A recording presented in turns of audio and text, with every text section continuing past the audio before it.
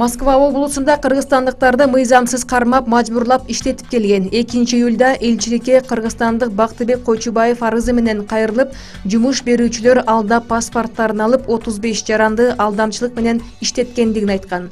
Аларды москва облусундагы большевик кыштагында кармап келишкен.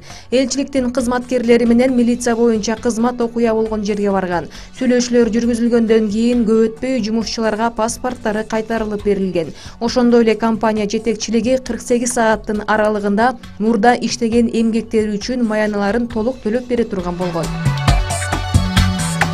панфилов районундагы көлмөгө чөгүп кеткен он бир жаштагы баланын денеси табылды. Кечээ күнү кечки саат бештер чамасында көлмөгө он бир жаштагы бала чөгүп кеткендиги туурасында өзгөчө кырдаалдар министрлигине маалымат түшкөн. Издөө иштерине алты куткаруучу сегиз милиция кызматкери жана жергиликтүү тургундардан он адам чыккан. Саат кечки сегиздер чамасында маркумдун денеси табылып ошто балдар уурдалууда деп билдирүү тараткандарды ички иштер министрлиги издеп жатат. Милиция whatsapp аркылуу балдардын ички органдарын алуу үчүн аларды топтоо менен уурдап кетип жатышат деген кабарды тараткандарды издей баштады.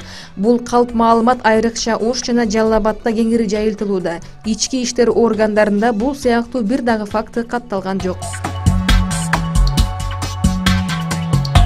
кыргызстанда күндүн ысып кеткендигинен улам жылан көбөйө баштады деген кабар чындыкка дал келбейт. Бул тууралуу бүгүн өзгөчө кырдаалдар министрлиги азаттыкка билдирген азыр кыргызстандыктар арасында айрыкча whatsapp аркылуу аба ырайынын кескин ысыгандыгына байланыштуу жылаандар көп чыга баштады.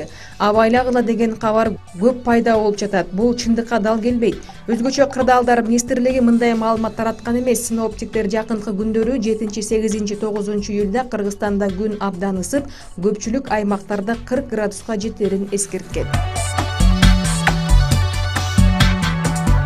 ош облусунун ыйгарым укуктуу өкүлү башында турган ош облусунун делегаттары андижан шаарына барып келди. Сапардын алкагында делегаттар худжа абад районундагы нил грант кездеме чыгаруучу ишканасы менен таанышты.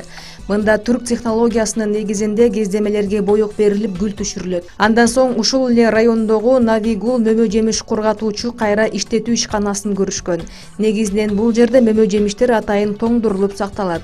Жумушчу сапар жыйынтыгында эки облус ортосунда жер семирткичти кайра иштеп ишканалардын фирмалык дүкөндөрүн айыл чарбасына ылайыктуу райондордо ачуу талкууга алынды андан сырткары ишкерлерди облус аймагына өз инвестициясын салууга чакырык ташталды. Интернет сайттарынан алынган маалыматтардын маани маңызына ош тв телеканалы жооп бербейт